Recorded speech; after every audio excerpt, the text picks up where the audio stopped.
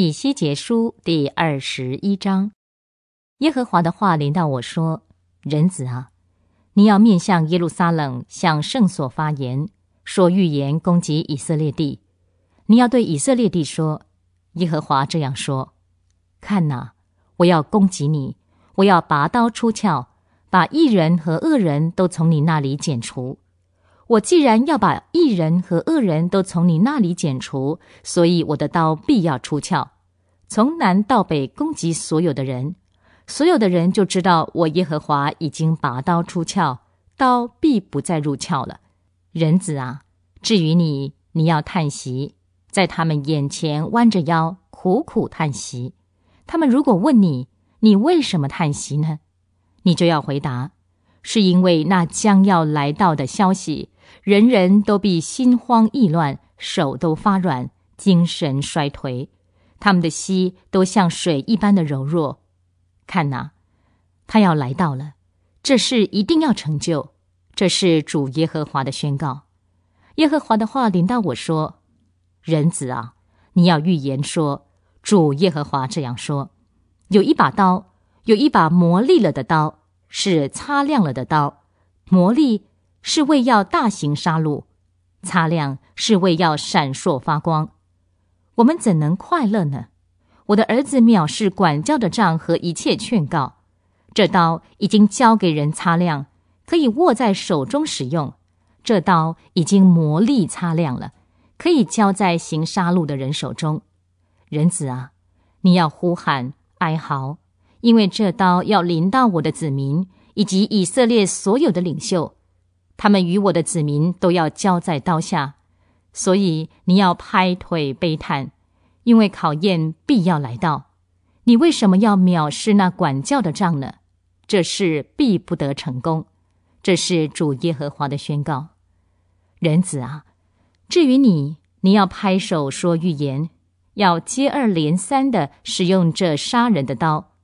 就是导致极大死伤的刀，把他们围困，好使他们心慌意乱，多人跌倒。我在他们所有的城门那里布下了杀戮的人。啊，这刀做的闪烁发光，磨的尖利，可以杀戮。刀啊，向右边斩吧，向左边刺吧。无论你面向哪一方，就向哪一方杀戮吧。我也要拍手。并且要使我的烈怒止息，这是我耶和华说的。耶和华的话又领到我说：“人子啊，至于你，你要定出两条路，给巴比伦王的刀前来。这两条路都从同一个地方出来。你要在通往城去的路口上做一个路标。你要定出一条路，使刀临到亚门的拉巴；又要定出另一条路。”使刀临到犹大，攻击坚固城耶路撒冷，因为巴比伦王站在分岔路口，在两条路口上占卜、摇签、求问神像、查看动物的肝。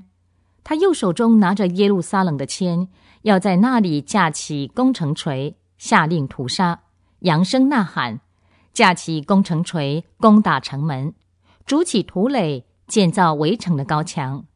在那些曾经向巴比伦起誓效忠的犹大人看来，这是虚假的占卜。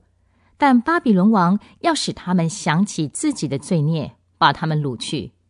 因此，主耶和华这样说：“你们的过犯显露，你们的罪在你们的一切行为上给人看见，以致你们的罪孽被想起。你们既被想起，就要被人用手掳去。”你这该死、邪恶的以色列王啊！你的日子到了，最后惩罚的时刻到了。主耶和华这样说：你当除去头巾，脱下冠冕。现在情形不同了，卑微的要升高，位高的要降卑。倾覆，倾覆！我要倾覆这国，这国不再存在，只等到那统治的人来到，我就把国赐给他。人子啊！你要说预言，论到亚门人和他们的侮辱，主耶和华这样说：你要说有一把刀，有一把刀拔出来，是为要杀戮、擦亮，是为要毁灭，为要闪烁发光。人为你所见的异象是虚假的，为你所占的卜是虚谎的，使你倒在该死的恶人的景象上。他们受惩罚的日子到了，最后惩罚的时刻到了，收刀入鞘吧！我必在你被造之地根源之处审判你，我必把我的愤怒倒在你身上，把我的怒火喷在你身上。又把你交在那些惯于毁灭的野蛮人手中，你必当作燃料被火焚烧，你的血要留在你的国中，你必不再被纪念，因为这是我耶和华说的。